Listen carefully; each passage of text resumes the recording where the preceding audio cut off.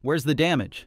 That's basically what California's Coastal Commission said when they tried to shut down SpaceX's lawsuit.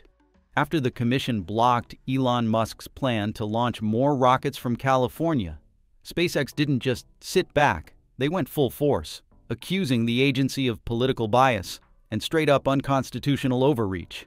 But California hit back hard, saying, Look, the Air Force went ahead with the launches anyway. So, where's the harm?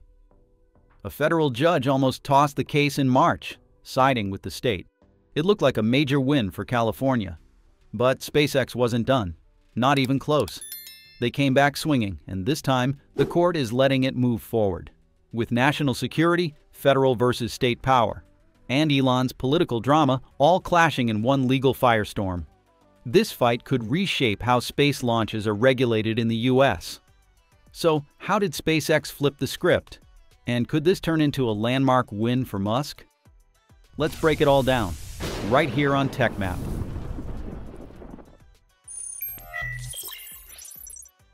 The legal fight between SpaceX and the California Coastal Commission is back in the spotlight. And this time, things might swing in SpaceX's favor. A federal judge in Los Angeles, Stanley Blumenfeld Jr., just gave Elon Musk's aerospace company the green light to move forward with its lawsuit against the California Coastal Commission. The judge said there's enough evidence, at least for now, that the Commission may have unfairly targeted SpaceX with stricter regulations. Blumenfeld in March rejected an earlier version of SpaceX's lawsuit, but allowed the company to amend and refile it. SpaceX added more allegations and details, the judge said showing how it could be harmed by the Commission's actions. This legal drama started in October 2024, when SpaceX filed a lawsuit accusing the Coastal Commission of egregiously and unlawfully overreaching its authority, and even engaging in naked political discrimination. In essence, SpaceX wants the court to rein in the Commission's power over its rocket launch operations. The heart of the conflict SpaceX's bold plan to launch 50 rockets a year from Vandenberg Space Force Base in 2025, plans that the state's Coastal Commission effectively blocked. The Commission's argument SpaceX is mostly running commercial missions and should therefore apply for a Coastal Development Permit CDP. They pointed out that 80% to 87% of the rockets don't carry U.S. government payloads, they're launching satellites for Musk's other venture, Starlink. Environmental concerns were also raised, particularly over the loud sonic booms created by the rockets, which could disturb coastal wildlife and local communities. SpaceX fired back, saying its Falcon 9 launch program is actually a federal agency activity. That classification, the company claims, puts it outside the scope of the state's permit process. Instead, any oversight should come through a federal consistency plan worked out with the U.S. military. SpaceX maintains that the Commission's demand for a coastal permit is flat out illegal. But here's where things get even more heated. SpaceX claims that the Commission's real motivation isn't the environment, it's politics. The company argues that Elon Musk's outspoken political views are what triggered the extra scrutiny. One commissioner allegedly slammed Musk last year for hopping about the country, spewing and tweeting political falsehoods during the 2024 presidential race. At the time, Musk was publicly supporting Donald Trump. Musk pushed back hard, arguing that bringing his personal views into regulatory decisions violates his constitutional rights. He insisted that his tweets have no bearing on what the Coastal Commission should be doing. In its lawsuit, SpaceX also makes claims against Commission members as individuals outside the scope of their official duties. But that part was trimmed by Blumenfeld. In the lawsuit, SpaceX goes even further, accusing the Commission of unconstitutional overreach and interfering in federal and national security matters. According to the company, there has been no significant effect on coastal resources from their launches. Rarely has a government agency made so clear that it was exceeding its authorized mandate to punish a company for the political views and statements of its largest shareholder and CEO, the suit states. Backing SpaceX is Jared Isaacman, commander of the Polaris Dawn mission. He took to X to criticize the Commission for obstructing progress. In his post, Isaacman argued that many of SpaceX's missions, especially those involving the Starshield system, directly serve national security interests and should be above politics. In this ongoing clash, there's another key player we can't overlook the U.S. Air Force, an influential third party with both regulatory and operational power. It was actually the Air Force that first proposed upping SpaceX's annual launch count from 36 to 50. According to them, the proposal fully complied with California Coastal Agency requirements, including efforts to minimize sonic booms and implement biological monitoring. What's more, the U.S. Space Force rightfully declared the expansion of SpaceX launches from Vandenberg a matter of national security under federal jurisdiction. So when the California Coastal Commission voted to block SpaceX's expansion plan, the Air Force pushed back. Hard.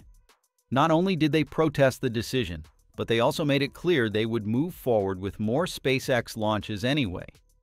Indeed, just three days after SpaceX filed a suit against CCC, the U.S. Space Force awarded SpaceX two task orders totaling $733.6 million, part of the NSSL Phase 3 program. All of these national security launches would take place from Vandenberg. This became a key point when the Coastal Commission later asked a federal judge to toss out SpaceX's lawsuit. In a January filing in Los Angeles federal court, the Commission argued that SpaceX hadn't demonstrated how the agency's October vote actually harmed the company. After all, the Air Force rejected the decision and proceeded with the launches regardless. The Air Force had the final decision to proceed with the project, and in fact did so, lawyers from the California Attorney General's office told the court. Despite standing firmly behind SpaceX, the Air Force also extended an olive branch to the Commission. They agreed to boost monitoring efforts and established an interagency task force. This group includes the U.S. Fish and Wildlife Service, the National Marine Fisheries Service, and the Federal Aviation Administration, all working together to address environmental concerns as launch frequency ramps up. Of course, in this first round, 301. U.S. District Judge Stanley Blumenfeld Jr. in March said he would dismiss Opens new tab the case because SpaceX had not shown it was harmed by CCC's vote. He has a point. Without concrete injury, courts typically find that a lawsuit is not ripe for judicial review and may dismiss it for lack of standing. Blumenfeld also found that SpaceX did not allege that the commission vote caused SpaceX or Musk to refrain from any protected speech under the U.S. Constitution's First Amendment. The judge then allowed SpaceX to amend its complaint to provide more specific evidence of harm or clarify its legal standing. As mentioned at the beginning of the video, SpaceX responded by filing an amended lawsuit with additional allegations and details, which the judge later allowed to proceed, finding that the new filing sufficiently addressed the court's concerns, at least enough to survive initial dismissal and move forward in court. There are some caveats, however. First, the risk of dismissal remains. If during further proceedings the court finds that SpaceX still cannot demonstrate actual injury or that the case is not ripe, the lawsuit could indeed be tossed out.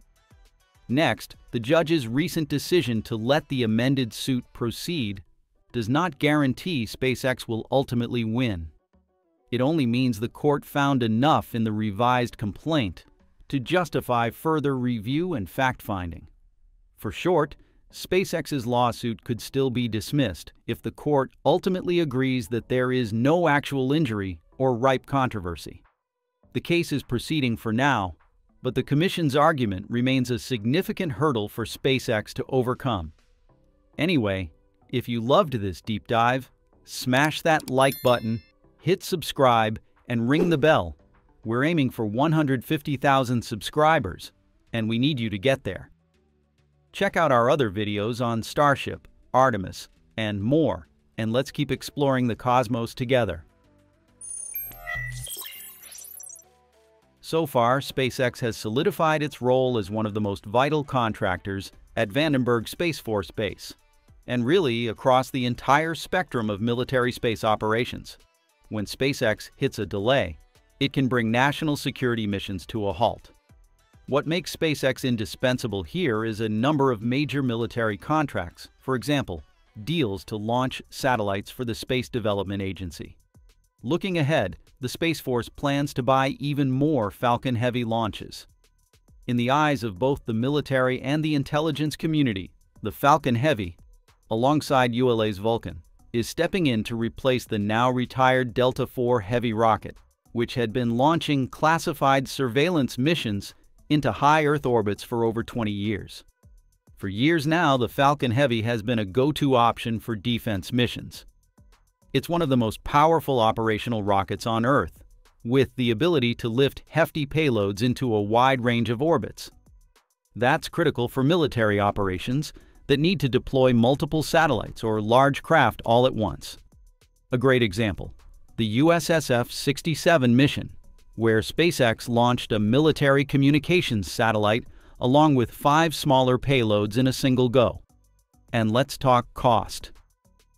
The Falcon Heavy comes with a base launch price of about $90 million, far less than what United Launch Alliance typically charges. ULA's Atlas V starts at $109 million, while the Delta IV Heavy has cost north of $350 million per launch, making it viable mainly for government customers. Even the newer Vulcan Centaur, designed to be more affordable, still carries a price tag somewhere between $100 million and $200 million. This affordability comes down to one key factor reusability. SpaceX's first stage boosters return to Earth and are refurbished for future missions. That's not just cost saving, it also increases how frequently launches can happen giving the military rapid response capabilities when time matters most. Then there's the technology. Falcon Heavy isn't just powerful, it's smart. It supports a wide array of defense-focused missions, including experimental flights like those involving the X-37B spaceplane. These missions test cutting-edge technologies that feed directly into the nation's defense strategy. SpaceX's contributions extend beyond launch vehicles. In the satellite realm, the company has made a major impact through Starlink. Notably, SpaceX provided and funded Starlink service for Ukraine, largely on its own, proving that the network can operate in an active war zone, and showing a level of resilience the U.S. military didn't expect from a commercial system.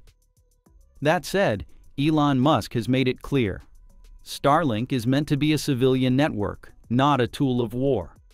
That's where Starshield comes in. It's the military version of Starlink, designed with defense applications in mind. And if you think that's bold, consider this. The Department of Defense is exploring a scenario where it wouldn't just hire SpaceX. It would own and operate the company's massive Starship rocket directly. The idea is to use Starship for high-risk, sensitive missions as a government-operated asset. If that happens, we're looking at a future where military capabilities leap forward in a massive way, thanks to a rocket that's still in the making. Of course, bringing Starship to life takes serious funding. That's why SpaceX's ongoing contracts for Falcon Heavy launches and Starlink operations are so crucial. They're helping bankroll the future. It's no secret that some political forces, especially in California, aren't thrilled with Elon Musk's influence. But the Pentagon can't afford to let politics derail its strategic goals. Whatever it does next, it'll have to be more calculated than ever.